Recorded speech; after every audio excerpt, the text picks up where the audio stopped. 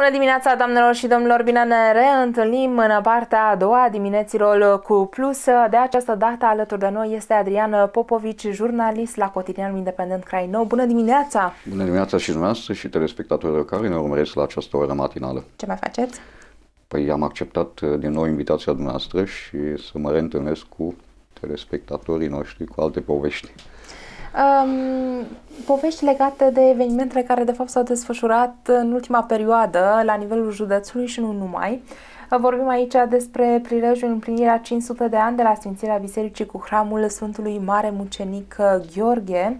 O serie de evenimente s-au desfășurat la Mănăstirea Sfântului Ioan cel Nou de la Suceava. Avem pregătit un material pentru telespectatorii noștri. Uh, vă propun să-l urmărim împreună, după care să vorbim un pic despre istoria acestei uh, biserici cu hramul Sfântul Mare Mucenic Gheorghe. Materialul și revenim imediat.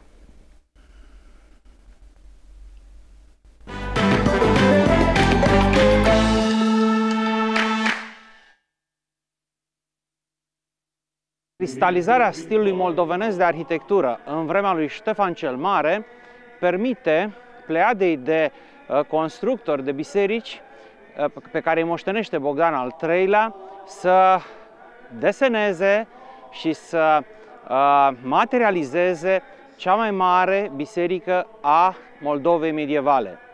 Biserica este cunoscută astăzi drept Catedrala Sfântul Gheorghe, din interiorul mănăstirii Sfântul Ioan cel Nou din Suceava, actuală catedrală arhiepiscopală a Arhiepiscopiei Sucevei și Rădăuților. Biserica se termină în timpul lui Ștefan cel Tânăr, dar nu se pictează. Biserica a fost pictată în vremea lui Petru Rareș. Atunci când Ștefan cel Mare a întemeiat campania de construcții de biserici și a pus problema că ele trebuie pictate și a întemeiat un atelier școală care a funcționat la Pătrăuți, care a funcționat la Milișăuți și care încet încet a școlit ucenici care aveau să își dea proba maximă de desăvârșire în vremea lui Petru Rareș. În prima domnie a lui Petru Rareș, în perioada, să spunem, 1532-1535, într-o perioadă foarte scurtă, a fost o, un efort concentrat în toată Moldova și s-au pictat atunci cel puțin trei biserici. Biserica Mănăstirii Probota, Biserica Mănăstirii Humor și Catedrala Mitropolitană din Suceava. Fiind cea mai mare biserică din punct de vedere a volumetriilor, Catedrala Sfântul Gheorghe din Suceava uh, deține cea mai mare dimensiune în metri pătrați pentru pictură. Și astăzi, la Suceava, păstrăm cea mai mare cantitate de pictură din Moldova medievală. Atât în interiorul bisericii, cât și la exteriorul bisericii, căci, așa cum se văd, se vede pelerinii care intră în uh, curtea mănăstirii Sfântul Ioan cel Nou și înconjoară biserica văd foarte bine și cei care caută pe internet acum de asemenea și imaginile filmate de colegii noștri, biserica a fost pictată de jur împrejur. Programul iconografic este gândit în jurul Mântuitorului nostru Iisus Hristos, Pantocrator, pictat maestos în turla de pe Naos. Mântuitorul este înconjurat de cetele îngerilor, este înconjurat de cetele profeților și ale apostolilor, uh, este înconjurat de o maestoasă liturghie dumnezeiască, liturghie cunoscută în iconografie și sub numele de liturghia îngerilor, dar strămoșii noștri scriau dumnezeiască liturghie, pentru că ceea ce se petrece și se vede simbolic în acea scenă pictată în turla Bisericii Sfântul Gheorghe de la Mănăstirea Sfântul Ioan cel Nou se petrece în chip real în timpul Sfintei Liturghii. Pronaosul și pridvorul Catedralei Arhiepiscopale a Sucevei sunt înveșmântate cu zilele Sfinților din fiecare an. Ceea ce e cunoscut drept calendar, uh, menolog, în fapt cărări bătătorite de sfinții noștri, cuvioși, martiri, mărturisitori, uh, sfinți care și-au dus viața pe pământ, păstrându-și identitatea creștină, mărturisind-o prin faptă și prin viață și prin cuvânt, sunt pictați spre exemplu, spre întărire, pentru ca pelerinul să știe că în fiecare zi o cărare bătătorită către cer duce la o poartă a cerului deschisă, înveșmântată simbolic în, uh, absid, în concele calotelor bisericii prin icoana Mântuitorului nostru Isus Hristos. De jur împrejurul bisericii, scena judecății de apoi poate fi vizionată, văzută pe partea de vest a bisericii, pe partea de sud a bisericii, poate fi văzută scena, maestoasa scena arborilor lui Esei, imnul acatist și zeci de filozofi. Se vorbește mult despre faptul că în pictura medievală moldovenească sunt pictați filozofi, acei filozofi antici, prin care Dumnezeu a lucrat în popoarele păgâne, căci Dumnezeu a lucrat și a pregătit pronia și a pregătit întruparea Mântuitorului Hristos prin poporul Israel, lucru arătat în iconografia arborilor lui Esei. Dar Dumnezeu a lucrat prin toate popoarele și cei mai mulți filozofi, reprezentanți ai tuturor popoarelor lumii, sunt pictați aici, pe pereții exteriori ai Catedralei Arhiepiscopale a Sucevei. Duminică, 6 noiembrie 2022, an de jubileu pentru Catedrala Arhiepiscopală a Sucevei, va fi omagiată cu liturghie arhirească, cu sobor de preoți și diaconi, cu mulțime mare de popor, pentru a onora memoria strămoșilor și pentru a învăța cum să ne fie de folos jerfa și munca lor pentru astăzi, până astăzi și pentru a mărturisi în fapt că noi suntem urmașii lor. Vă așteptăm cu drag la mănăstirea Sfântul Ioan cel Nou de la Suceava.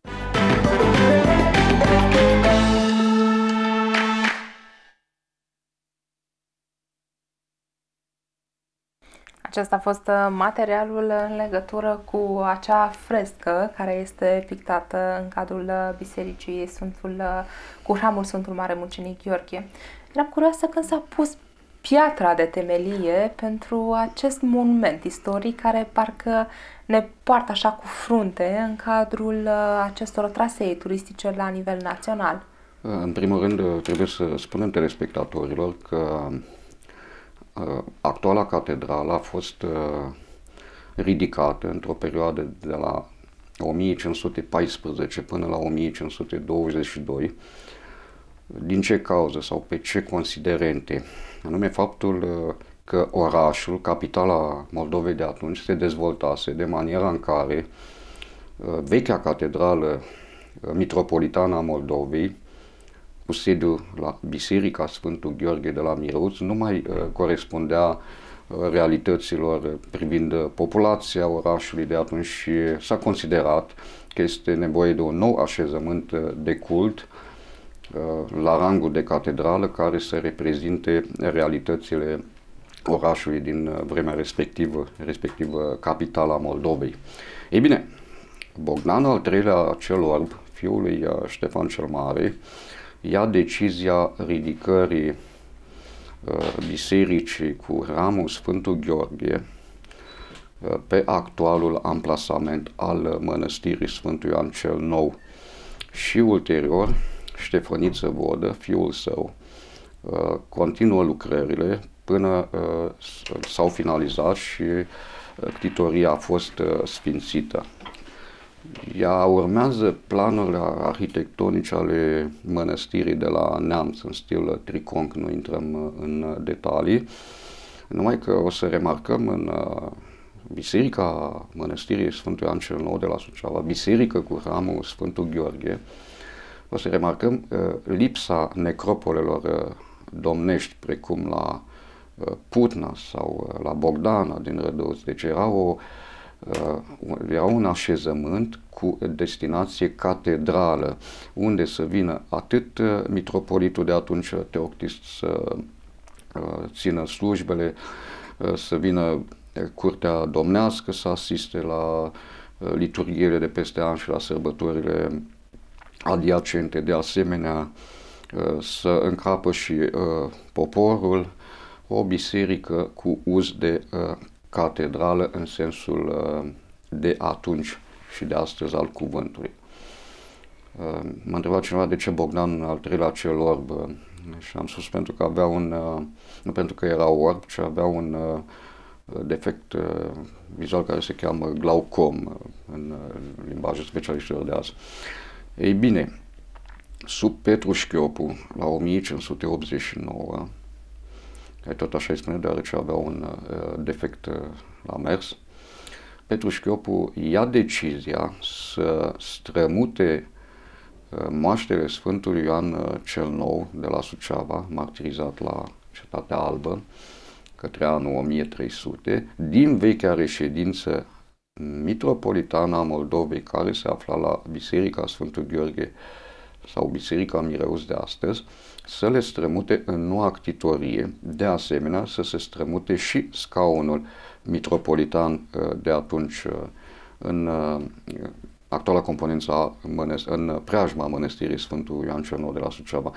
Mănăstirea deci este un complex monahal cu mai multe funcții. Deci există și sediu mitropolitan de atunci, respectiv arhiepiscopal de acum, există chiliile călugărilor, există biserica mănăstirii, deci biserica unde se uh, slujește zilnic și unde ne putem închina uh, Sfântul Ioan cel Nou de la Suceava. Uh, propriu acesta este în mare uh, istoricul uh, Catedralei Mitropolitane a Moldovei, fosta Catedrale Mitropolitană, pentru că acum ea are regim de mănăstire. Uh, Catedrala Mitropolitană se află la Iași. Ei bine, ulterior, sub uh, Alexandru Lăpușneanu începe să se strămute capitala de la Suceava la Iași, v-am spus pe uh, motive de dezvoltare a unei urbe, a unui oraș. Și Iată, Iașu a preluat scaunul metro, metropolitan al Sucevei și actualul mitropolit Teofan este mitropolit al Moldovei și Bucovinei. Prin ce evenimente mai triste a trecut această sfântă, acest sfânt locaș de cult? Prin ce evenimente? În primul rând, să nu credeți că actuala mănăstire a fost așa de la, de la început, a, a, a urmat uh, o serie de transformări privind uh, pictura exterioară, privind pictura interioară. Au fost uh, anumite năbăliri tătărești și turcești asupra Sucevei, dar ce spun călugării și ce spune hagiografia, Sfântul Ioan cel Nou totdeauna a ferit lăcașul de distrugere. În timp ce, iată, la fel, mănăstirea Putna a fost la un moment dat arsă, deci nu mai este astăzi ceea ce a fost uh, gândit în vremea lui uh, Ștefan cel Mare, a suferit uh, incendii, reconstruiri, reconstrucție și ceea ce vedem astăzi la Putna nu este realitatea ceea, ceea ce a construit nu Ștefan cel Mare, ce au construit meșterii săi pentru la porunca lui Ștefan cel Mare, era cu totul uh, diferită uh, Putna. Fiecare uh, mănăstire a avut uh, etape de uh, dezvoltare ca orice uh, construcție, în general că este laică, că este religioasă. Uh, ceea ce spunea și părintele Hera, el fiind în uh, domeniu, a, exp- a explicat uh, pictura. De asemenea, vedem martirajul Sfântului uh, Ioan uh, cel Nou, de la Suceava. De ce se spunea cel nou? Pentru că până atunci în calendar era doar un singur, adică uh, Sfântul uh, Ioan, nu Evanghelistul, ci Sfântul Ioan Botezătorul. Și atunci, iată, după martirul a devenit un, un alt Ioan, Ioan cel Nou, de la uh, Suceava, moaștele lui fiind aduse în 1402 de vrednicul de pomenire Alexandru cel Bun și uh, depuse inițial într-o racă la Uh, Biserica uh, Mireuț, fosta catedrală metropolitană a Moldovei, dar uh, se pare că Racla cu moaștele Sfântului a stat o bună perioadă la prima biserică de pe teritoriul actual al municipiului, în cartierul Ițcanii Vechi, deci este vorba de uh, Biserica Breslei Cismarilor, cum se spune, sau uh, Biserica cu hramul uh, adormirea Maicii Domnului, adică 15 august, Sfânta Mărie Mare. Mergem la un alt subiect pregătit pentru uh, astăzi. Este vorba de um, Eduard al VII-lea. L-am ales special pentru că este fiu al reginei Victoria. Da, este un subiect care m-a captivat dintotdeauna. Eu îi spuneam așa, regele Bonom, regele Boem, uh, regele care a înstăpânit epoca Belle Epoque, uh, epoca frumoasă în, pe continentul european. Da, este fiul cel mai mare al uh, reginei Victoria și vorbesc la timpul prezent, deși nu mai este în viață, pentru că istoria Angliei este o permanență pentru mine și uh, așadar el s-a născut în 1841 ca fiu al reginei Victoria și al prințului Albert. Uh, firea lui nu neapărat impulsivă, ci dedicată spre mici sau mari plăceri, au determinat-o pe regina Victoria, care decretase un doliu de 40 de ani după moartea lui Albert în 1861.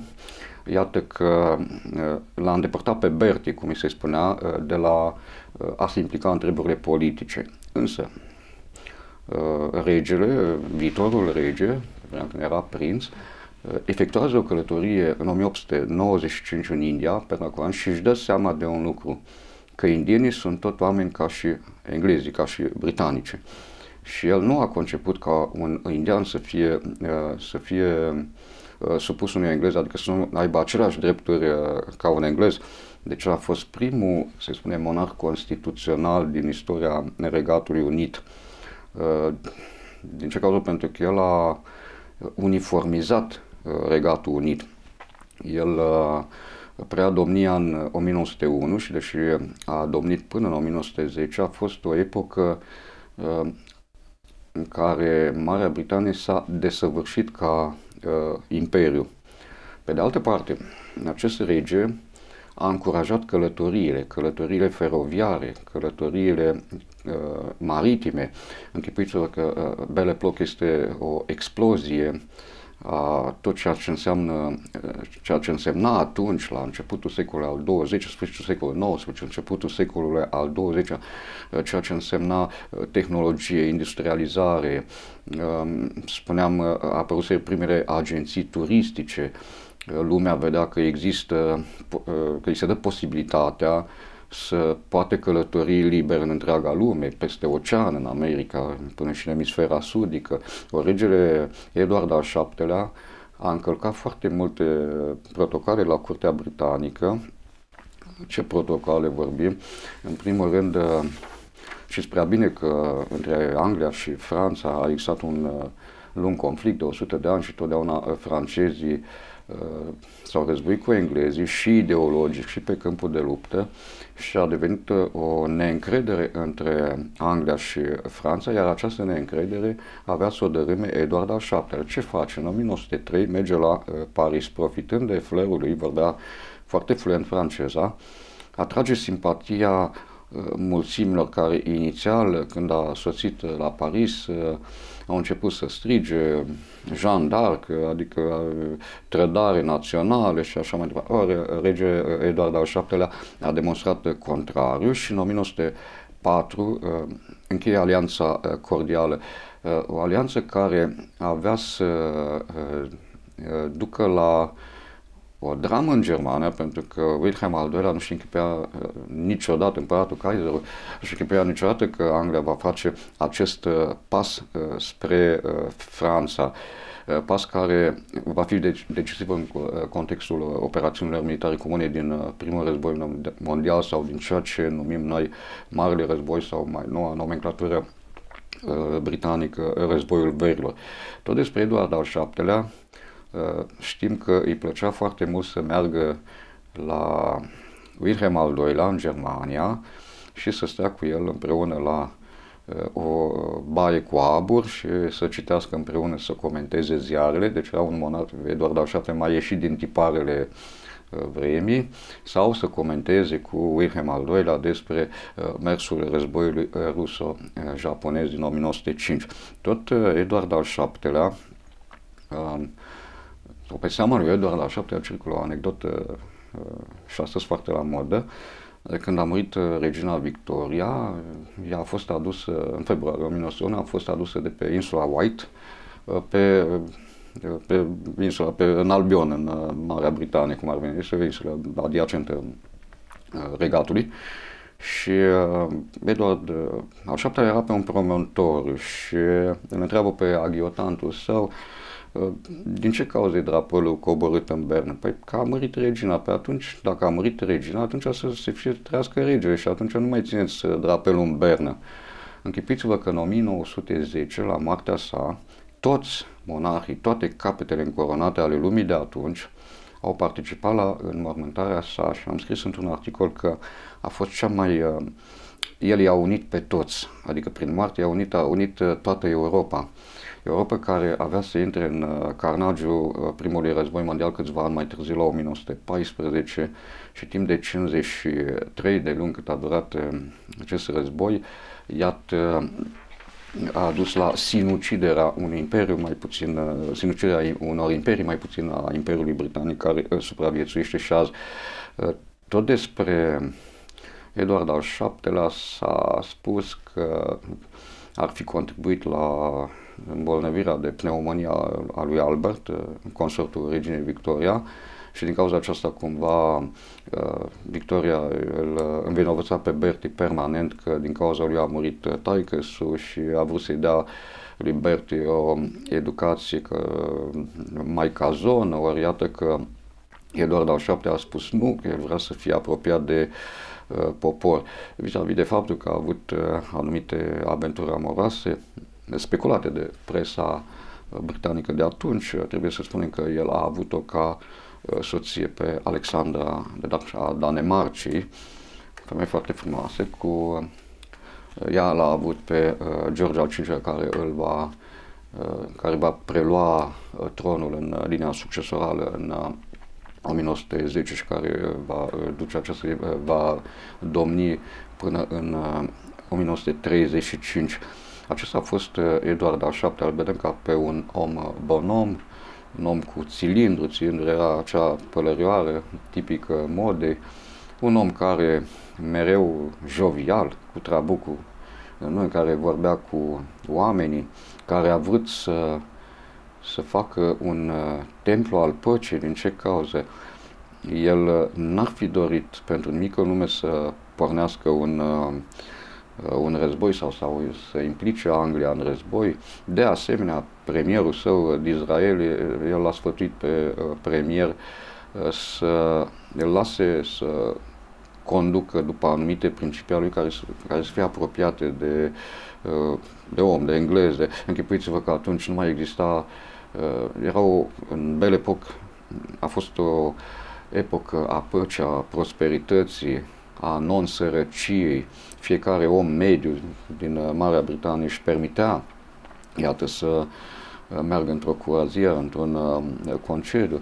Închipuiți-vă la noi, în 1907, țăranul român trăia aproape ca nevul mediu, iar această răscoală din 1907 a dat de gândit pentru că țăranul român, și exceptându-l pe cel rus, erau, era cel mai înapoiat din uh, Europa timpului într-o epocă a uh, bel epocului, a, o epocă frumoasă care, iată, pe 28 iulie 1914 avea să se uh, sfârșească în mod tragic în atentatul la Sarajevo.